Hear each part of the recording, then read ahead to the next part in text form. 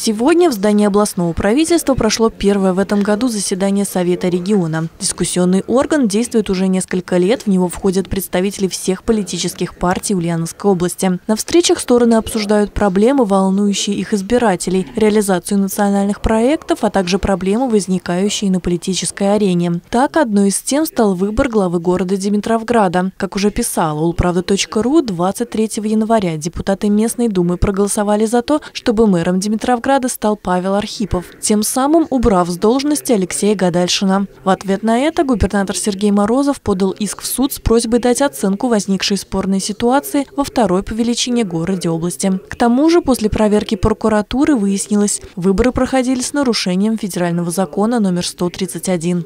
У нас одна задача – развивать Ульяновскую область, чтобы все соответствовало федеральному законодательству чтобы мы с гордостью говорили о том, что мы часть великой страны.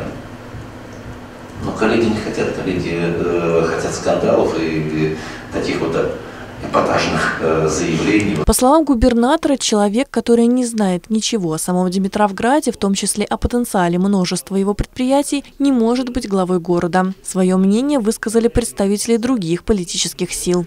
Сам тот же Гибадинов, он участвовал в принятии закона.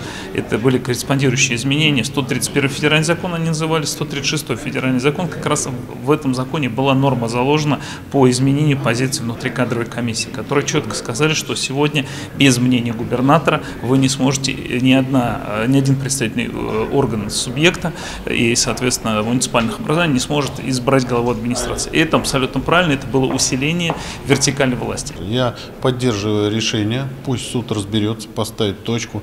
И э, если кого-то это решение не устраивает, они также могут его обжаловать в суде вышестоящей инстанции, во-первых. Во-вторых, то, что происходит сейчас э, с занятием кабинетов в администрации города э, Димитровграда, ну, это ни в какие ворота не лезет. Я хочу напомнить некоторым депутатам, в том числе законодательного собрания, что перед законом все равны. И, на мой взгляд, все, что они делают, это хулиганство. То, что городу нужен крепкий хозяйственник, согласились все стороны. Тот, кто не будет раздувать конфликт конфликты из воздуха и ставить политические амбиции на первый план, а тот, кто позволит городу развиваться. Анна Тищенко, Новости Ульяновской правды.